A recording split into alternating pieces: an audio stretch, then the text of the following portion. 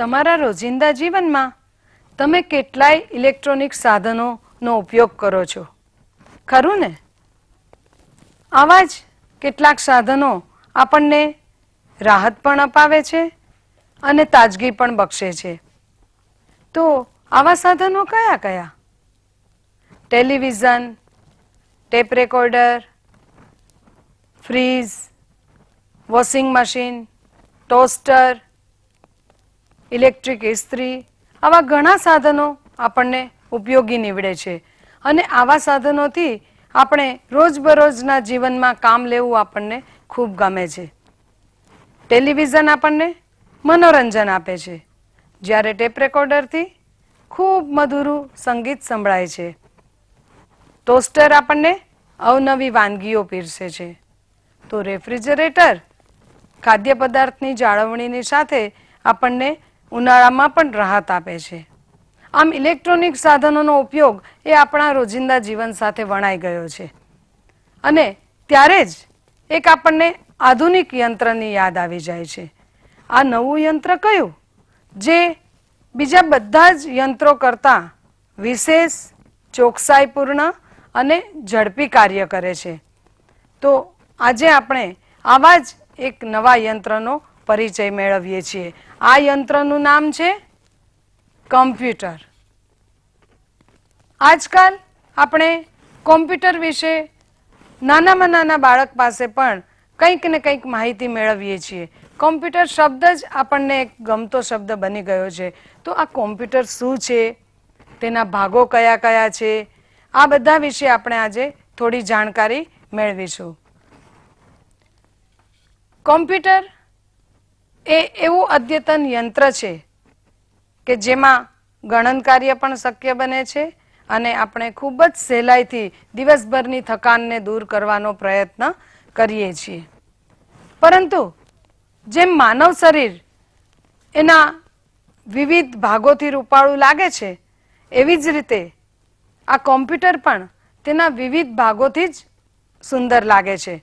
તો આ વિવિધ ભાગો કયા કયા? સૌ પ્રથમ આપણે જોઈએ કોમ્પ્યુટરનો આ એક બાહ્ય ભાગ, જેને મોનિટર કહે છે. આ મોનિટર તમે અહીંયા પણ જોઈ શકો છો. આ મોનિટર દ્વારા આપણે ટીવી જેવું જ દેખાતું સ્ક્રીન છે, જેમાં આપણે ઘણી બધી વસ્તુઓ કોમ્પ્યુટરમાં મૂકેલી જોઈ શકીએ છીએ. મોનિટર બે પ્રકારના હોય છે.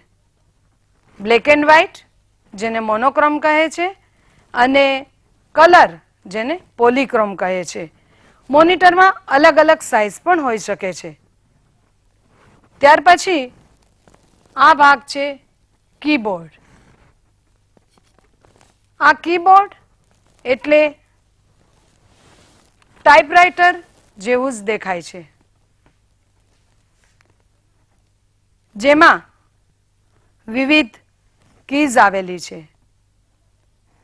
અલગ અલગ ફંક્શન કીઝ આવેલી છે. આ છે માઉસ માઉસ શા માટેને માઉસ કહે છે? ઉંદર જેવો એનો આકાર લાગે છે. આ માઉસ એ કોમ્પ્યુટરનો નાનામાં નાનો ભાગ છે. તેના પર ત્રણ બટન આવેલા છે. ડાબું બટન, જમણું બટન અને વચ્ચેનું બટન. આ માઉસનો ઉપયોગ પણ આપણે જરૂરથી શીખીશું. આ છે પ્રિન્ટર. પ્રિન્ટર એટલે કોઈ પણ કાગળને શબ્દ સ્વરૂપે આપણને નિહાળવા મળે તે. કોમ્પ્યુટરમાં આપણે જે કંઈ વસ્તુ મૂકેલી છે, જે કંઈ લખાણ લખેલું છે, એને એક કાગળ પર પ્રિન્ટ કરવા માટે આ પ્રિન્ટરનો ઉપયોગ થાય છે.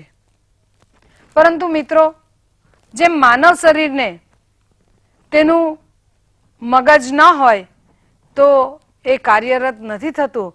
એ રીતે કોમ્પ્યુટરને પણ એક મગજ છે, જેને સીપીયુથી ઓળખવામાં આવે છે. ફરીથી કહું છું સી પી યુ સી એટલે સેન્ટ્રલ પી એટલે પ્રોસેસિંગ અને યુ એટલે યુનિટ જે કોમ્પ્યુટરના બધા જ ભાગોને જોડે છે.